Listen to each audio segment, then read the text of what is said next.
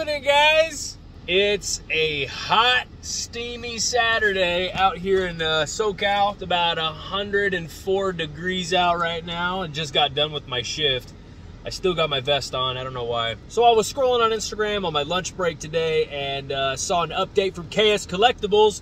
Once again, they got another new Joe in. And it happens to be one of the most anticipated Joes of the wave, Shipwreck. Like I said, folks, if you guys are in the SoCal area, Inland Empire, Redland, San Bernardino, come check this place out, man. They got a bunch of goodies in here. I'm so excited because just last week I picked up scrap iron. I don't think there's a better way to end my Saturday uh, than to get a G.I. Joe Shipwreck and unbox it when I get home today. So uh, let's go get it.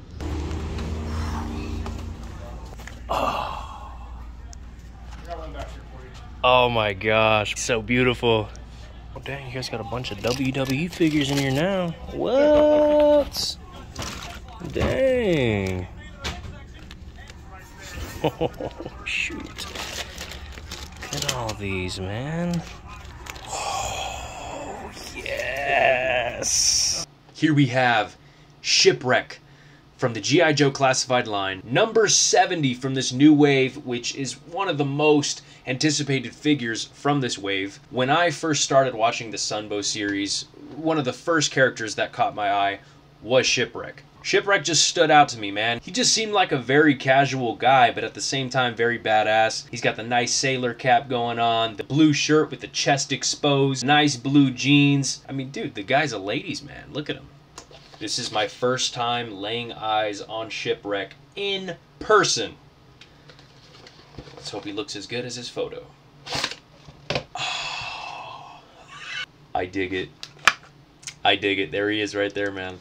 My favorite thing about action figures, man, is, is once you get them in your hand, you pull them out of the package. He just looks so much better. There's a difference there when you have them there in your hands as opposed to seeing them in pictures online. Like, it's just, it's a magical experience. So there you have Shipwreck. His jeans looking good. It has like a nice stone wash on the jeans. That's awesome, dude. I appreciate that detail. Even the chest hair. Right, moment of truth. Taking him out of the package. Wow, dude. There's that sweet box art there. Oh, the shark tattoo. So he's got his anchor tattoo there, turning over to this sweet shark tattoo. Look at that and then get you a little closer look at that chest hair. I gotta tell you, that shipwreck, he's a beautiful man. Let's rip open his uh, box here to get his accessories out and his nice little poly bird we got going on.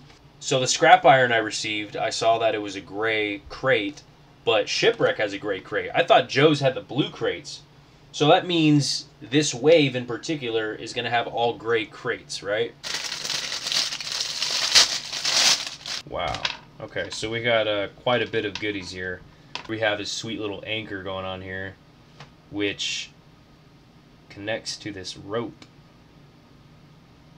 Look at that. And then it also hooks onto Shipwreck's waist. Oh, dude, this sweet gun. Look at that. Let's see how he looks with his hair. Look at that handsome man. That looks a lot better with his hat, so I'm going to keep it like that. Oh, man with this dude all pieced together with his accessories, I think he's going to stand out much like Spirit and Freedom stand out. Here we have Shipwreck on the left side of the display. So here we have like all the Tiger Force guys here. Got the nice box display up there of Snake Eyes and Timber. Uh, some other Joes in the back there. We got Mike the Hunter himself in figure form. Looking sweet. Yeah, yeah. And uh, here we are. We got all the uh, Cobra villains here. Serpentor on top. Got Scrap Iron and his drone here. Look at that. Whew. Some troopers.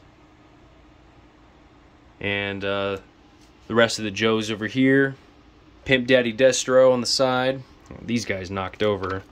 Come on, guys. What are we doing here? What are we doing here? You guys are letting me down. We're over here just showing the G.I. Joe fans a nice display, and you're going to do this to me? All right, there you go. Falcon up there. We got Scrap Iron's box. I just, I love that box, so I had to put it up there on top.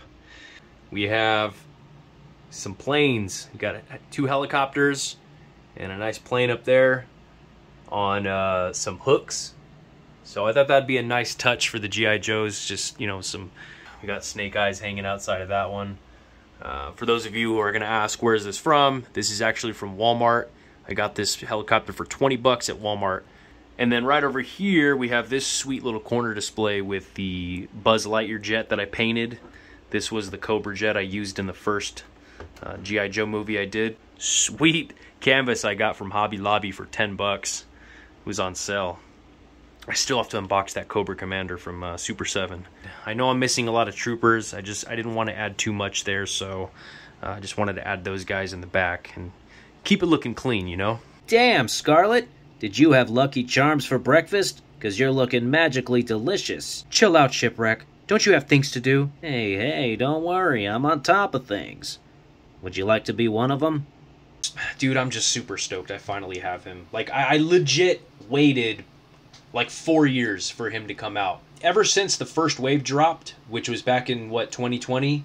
Uh, I've been dreaming for them to make a shipwreck. You're finally in my hands, and dude, you just look so cool. That's gonna be it for this quick unboxing, guys. I hope you guys enjoyed it. Definitely more to come as I get more figures in. Uh, still working on the Bazooka film, so stay tuned, man. Comment below, what's your favorite thing about the shipwreck? Uh, what character do you want them to drop, man? Who, who are you waiting for? I know a lot of people are saying Alpine. What the hell, man? We got a bazooka. Where's our Alpine, Hasbro? And uh, don't forget to click like. That being said, folks, I hope you enjoy your figures. I hope you enjoy your families. And as always, good hunting. Peace!